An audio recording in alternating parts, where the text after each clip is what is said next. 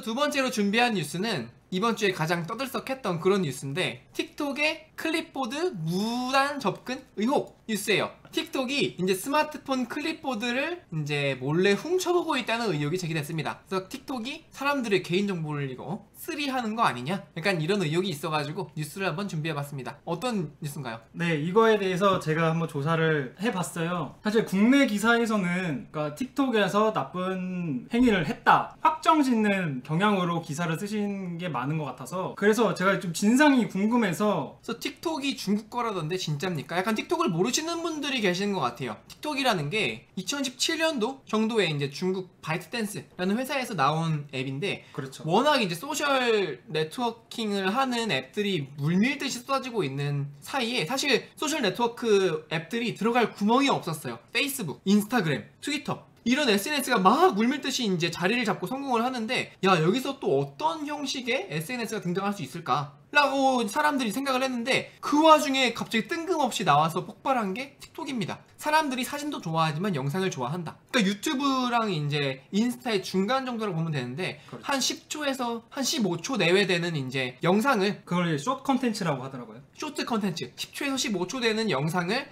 사람들이 찍어서 인스타그램처럼 공유하는 그런 social network 응용입니다. 여러분들 아마 모르셔도 광고가 워낙 많이 나와서 광고에서 한 번씩은 보셨을 거예요. 그런 얘기가 있더라고요. 아무도 틱톡을 해본 적은 없으나 이 광고를 안 본 사람은 없다. 그렇죠. 틱톡이 지금 세계적으로 엄청나게 그래도 유행을 하고 있는 앱인데 여기서 이 클립보드 데이터를 무단으로 접근을 해서 사용자 개인정보를 가져갔다라는 의혹을 받고 있습니다 여러분 아직 의혹인데 클립보드 에 대해서 또 짚고 넘어가야겠죠 클립보드라는 단어가 사실 많이 생소한 단어죠. 컴퓨터를 잘 안 하시는 분들은. 다들 사용하고 다들 들으면 아는 그런 거죠. 쉽게 말하면은 여러분이 복사 control C 하면은 그 클립보드. 임시적으로 저장되는 곳이 바로 클립보드예요 그러니까 클립보드가 박스입니다, 박스. 가나다를 제가 썼어요. 잘라내기를 했어요. 그러면 가나다가 이 클립보드에 이제 보관되어 있는 상태로 갑니다. 그리고 control V를 누르면은 클립보드에 있던 게 이제 붙여넣기가 된다 라는 거죠. 그렇죠. 근데 이 클립보드가 중요한 점이 앱들에서 공유돼서 사용되고 있어요. 그래서 뭐 카톡에서 복사하는 것도 이 클립보드에 들어가면은 뭐 메시지 앱에서도 접근이 가능하고 뭐 다른 어플에서 다 접근이 가능을 해요. 가능하기 때문에 내가 이제 크롬에서 복사한 거를 게임에서 붙여넣을 수가 있는 거죠. 그렇죠. 그래서 만약에 뭐 카톡에서 복사를 했는데 내가 다음에 틱톡 앱을 켰을 때 틱톡이 이 클립보드 데이터에 접근해가지고 이 카톡 데이터를 가져갈 수 있는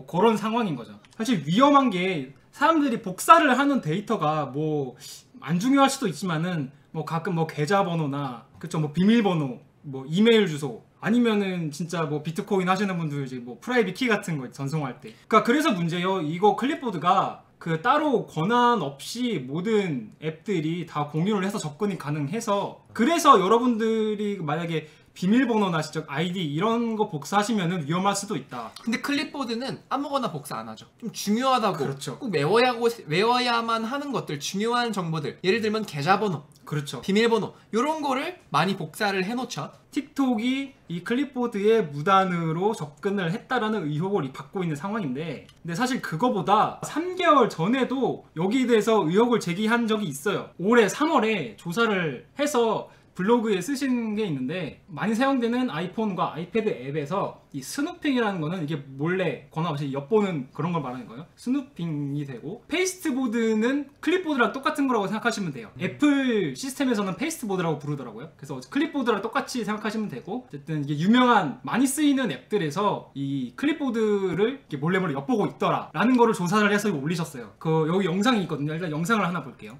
여기서 지금 이분이 하신 게 뭐냐면은 요 틱톡과 다른 앱을 두 개를 번갈아서 켜가면서 여기 지금 왼쪽 화면에 나오고 있는 게 그러니까 아이폰에서 발생시키고 있는 로그들을 보고 있는 거예요. 근데 그 중에서 지금 클립보드 이벤트 로그만 보고 있는 상황이에요, 지금. 그래서 앱들을 켜가면서 얘네가 클립보드에 접근 하나 안 하나를 테스트하는. 지금 오른쪽이 아이폰 앱 화면이고 왼쪽이 로그 확인하는 창이에요. 요앱 지금 다른 앱 켰을 때는 아무것도 안 뜨죠. 그러니까 클립보드에 접근하지 않는다는 뜻이에요. 그런데 틱톡을 키니까 이 이벤 이거 어, 그쵸? 요거 지금 클립보드 관련 이벤트가 막 발생되고 있는 상황인 거예요. 그래서 어쨌든 요거 지금 로딩 아이템 요게 지금 클립보드 아이템을 로딩하는 어, 그 틱톡 어, 이벤트라고 해요. 틱톡을 켜자마자 클립보드를 들여다본다. 그렇죠. 그래서 요게 3개월 전에 조사를 해서 이런 의혹을 제기를 하신 거예요. 근데 사실 틱톡뿐만이 아니라 많은 앱들이 접근을 하고 있었다라고 하더라고요. 여기 보면은 많이 사용되는 앱들을 조사를 하셨다고 해요. 뭐 뉴스, 게임, SNS나 뭐 기타. 게임 회사도 여기 보면은 펍지 모바일. 여러분들 펍지 모바일은 텐센트랑 같이 운영을 하고 계신다는 거 아시나요? 네, 그래서 이것도 중국하고 관련돼 있어요. 그래서 웨이보. SNS에서는 틱톡, 웨이버 웨이보도 있네요. 중국의 네. 중국의 페이스북이죠 네. 이거. 어쨌든 이렇게 많은 데서도 클립보드를 접근을 하고 있는데 접근하는 이유가 명확하지 않은 것들을 이렇게 리스트로 보여주는 거예요. 이 앱에서 클립보드에 접근해서 어디 쓰는지 모르겠는 것들. 클립보드에 접근을 하는 거는 사실 그렇게 의심스럽지는 않아요. 때, 때에 따라서 클립보드에 접근을 하는 권한이 있으면은 훨씬 더 편리한 서비스를 줄 수 있는 앱들도 분명히 있으나 얘네들은 사실 굳이 클립보드를 볼 필요가 없는 애들인데도 그러네. 그렇죠. 어. 얘네들이 이제 클립보드를 관여를 하고 있었다라고 이제 리스트를 해놓은 거죠. 뉴스는 그냥 보고 저희가 읽는 용도로 사용을 하는 거잖아요. 읽는, 읽는 용도로 사용을 하는데 클립보드를 볼 이유가 전혀 없어 보이는데. 그러니까 뭐 검색창이 있다고 하더라도 아, 검색창. 우리가 뭐 복사를 하거나 붙여넣기 할 때 이벤트가 발생하면 이해가 가는데 그쵸. 틱톡처럼 뭐 아무 상관없는 앱을 키기만 해도 접근을 하는 이벤트들이 발생을 하니까 의심 간다고 지금 만들어 놓은 거예요. 이 내용을 틱톡한테 문의를 했다 그래요. 근데 답변이 좀 이상합니다. 이 틱톡 측에서 우리가 의도한 게 아니고 SD, SDK에서 사용하는 기능이다. 이게 무슨 말이냐면은 SDK가 software development kit인데 이게 개발을 할때 어, 기본적으로 사용되고 사용되는 거라고 생각을 하시면 돼요. 그러니까 애플 때문이라는 거죠. 뭔가 우리가 클립보드 접근하는 코드를 넣지 않았는데 여기서 그 그런 행위를 하더라. 그러니까 애, 애플 스토어랑 안드로이드 핑계를 대는 거죠. 그렇죠. 문제를 댄다는 게. 근데 인스타. 페이스북 이런 데에서는 사용을 안 한다고 사용한 게 없었잖아요. 아까 리스트에 없었잖아요. 그 사실 요 얘기가 맞는지 안 맞는지 모르겠어요. 근데 어쨌든 틱톡 측에서는 요렇게 답을 했다. 뭐 어쨌든 간에 여기서 우리가 그러니까 몇 주 안에 우리가 그래도 고치겠다라고 했어요. 했는데 그 뒤로 또 깜깜 무소식 이거 고치지 않, 않았다라고 하더라고요. 이건 3개월 전입니다. 그래서 이러던 와중에 고치겠다고 했는데 안 고치고 있던 와중에 바로 이번 주에 이 아이폰 업데이트가 나와요. iOS 14가 공개가 됐는데 여기서 이제 많은 것들이 업데이트 되는데 그 중에서 보안 관련해서도 업데이트가 있었어요. 근데 그 중에 그 앱 개발자가 앱을 만들 때 이 앱에서 접근하는 데이터가 뭐가 있는지 정, 정확히 명시를 해야 되고 뭐 허락을 받아야 된다. 그러니까 수집하는 데이터가 뭔지에 대해서 이 앱에서 이게 지금 뭐 예시 앱인데 이런 데이터를 수집하고 있습니다. 라고 이렇게 명시를 해야 되고 이거의 일환으로 저 클립보드에 접근이 발생했을 때 이런 식으로 알람을 준다고 그래요. 오 대박. 이게 딱 명확하게 지금 틱톡에서 다른 곳에 클립보드를 붙여넣기를 아니, 해, 부착 했습니다. 복사를 했습니다. 난 안 했는데. 그렇죠. 그래서 이분이 이번에 그 iOS 14가 업데이트가 되고 나서 아직 베타 버전 베타 버전인데 베타 버전을 업데이트를 받고 나서 틱톡에서 이거 타이핑을 누를 때마다 이거 알람이 계속 나오는 거를 확인을 하고 이거에 대해서 의문을 제기를 하신 겁니다. 어. 그걸 트위터에 올리셨어요. 그래서 요거 영상을 한번 볼게요. 이렇게 타이핑을 할 때마다 계속 뜨죠.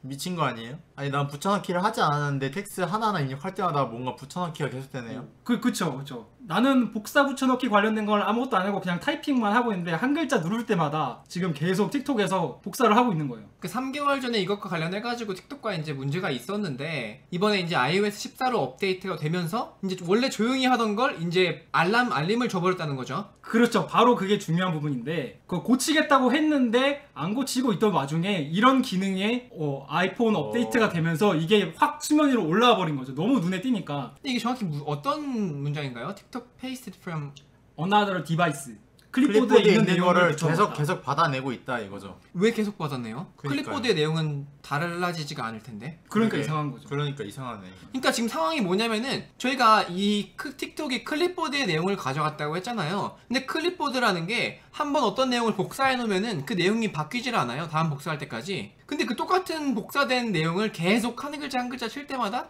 그렇네. 그래서 어쨌든 요거에 대해서 처음에 영상을 올린 다음에 이게 리트윗도 많이 되고 좋아요도 많이 받고 계속 토론이 이렇게 이어집니다. 어. 이거에 대해서. 근데 여기서 조금 정확히 해야 될 부분은 그 국내 기사들도 이렇게 틱톡에서 나쁜 짓을 한 거를 너무 확정적으로 언급을 하시던데 이건 아직 의혹입니다, 여러분. 이렇게 했다고 해서 사실 이상한 건 맞아요. 이상한 건 맞는데 아직은 의혹인 단계예요. 어쨌든 위험한 코드가 들어가 있다. 그렇죠. 어쨌든 이상한 행동을 계속 하고 있다. 그런데 그 틱톡 측에서 이번에 이거에 대해서 iOS 업데이트 버그라고 언급을 했다고 하는데 이 아. 부분에 대해서는 사실 제가 틱톡이 이렇게 언급한 원문을 못 찾았어요. 그러니까 그래서 이거는 조금 아, 이 우리나- 한국 기사를 쓰면서 조금 좀 잘못된 게 아닌가 제 추측을 해보는데 그래서, 그래서 이거는 못 찾았고 틱톡이 언급을 한 게 그 외국 기사에 있었는데 이거는 확실히 말을 했다 그래요 대변인이 말하기를 그 반복적인 스팸 행위 요거를 방지하기 위해 서 그러니까 구별 해내기 위해서 만들어진 거다라고 얘기를 했다고 그래요. 그러니까 그 댓글에다가 막 복붙해서 막 그냥 붙여넣는 거. 그거를 뭐 감지하기 위해서 라고 말을 했다고 하는데 사실 이것도 조금 납득이 되지는 않아요. 왜냐면 그러게요. 그거를 키를 누를 때마다 검사를 할 필요가 있을까? 그리고 굳이 그러니까 붙여넣기를 하지도 않았는데 검사를 하는 거는 좀 의미가 그렇죠. 크지 않은 것 같고 어차피 키를 그러니까요. 입력할 때마다 그 입력한 텍스트 값은 틱톡한테 가는 거잖아요. 사실 뭐 search engine, 크롬 같은 게 이제 클립보드 내용을 확인하고 가져간다라고 하면은 이해는 되지만 일단 얘네는 일단 spammer들 잡느라 그런 기능이 필요했다라고 얘기는 했네요. 그리고 지난번에는 뭐 SDK에서 한 거라고 하더니 근데 또 뭐 그러니까 그때와 이거는 또 다른 음. 부분이다라고 또 하기도 했다고 그러고 어... SDK 3, 3개월 전에 SDK의 잘못이라고 하다가 그렇죠. 지금은 아, 악성 유저를 잡기 위한 기능이다라고 하고 음... 그렇죠. 어쨌든 이거 좀 납득도 안 가고 뭔가 명확하지가 않아서 계속 의혹을 받고 있고 근데 어쨌든 수정은 했다 그래요. 애플 앱스토어에서는 지금 업데이트된 거가 올라왔다 그래요. 그런데 아. 안드로이드는 아직 뭐 계획이 없다. spammy behavior를 알기 위해서 이 기능을 썼다라고 했다가 이 기능을 뺀 거잖아요. 아 근데 여기 나와 있네요. 리무빙 더 안티 스팸 피처라고 아, 하니까 아, 아예 기능을 뺀것 뺐다? 같네요. 그럼 없어도 될 기능을 넣, 굳이 넣어놓고 있다가 그러니까 뭔가 말이 뺀 이상해요. 거네. 그러니까 이 해명도 이상하고 음. 중요한 거는 이거 이, 이 접근한 데이터를 진짜 다른 서버로 보냈냐 그게 중요한 중요한 건데 그거에 대해서는 사실 증거가 없어요. 클립보드의 내용이나 유저들의 기기 정보를 보냈는지는 불명확하다. 그렇죠. 하지만 안 했다는 증거도 없어요.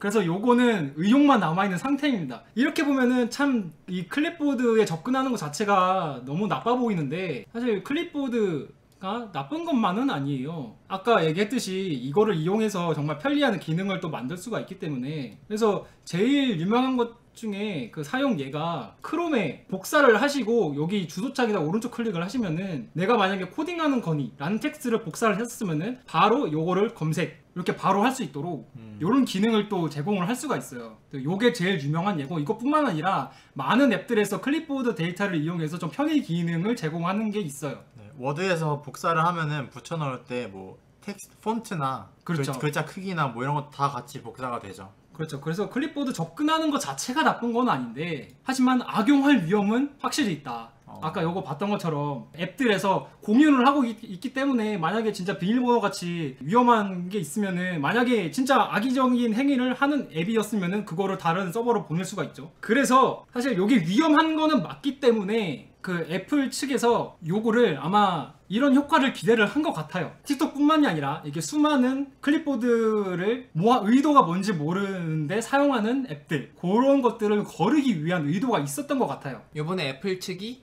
틱톡을 어느 정도 이제 저격을 한 것 같다.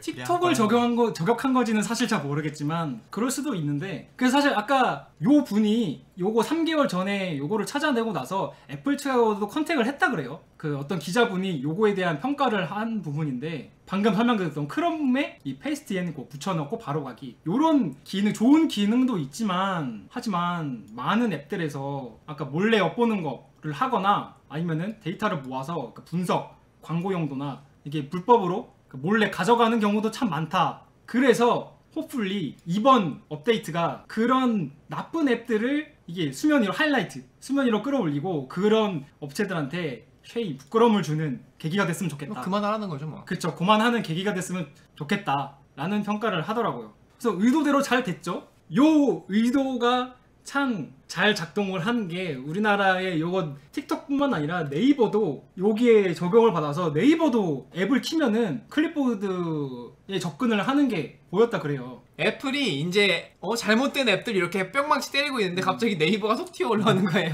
근데 네이버는 네. 내가 이해가 가. 네, 왜냐면 저- 이- 어. 왜 검색 사이트니까. 그쵸 저도 읽어보니까 이해가 가더라고 네이버에서 설명한 거는 그 네이버 켰을 때 클립보드에 텍스트가 있는지 확인을 해가지고 붙여넣기 기능을 지원을 하냐 마냐 요거를 결정하기 위해 서 그 처음 한 번 검사를 한다 그래요 한 번.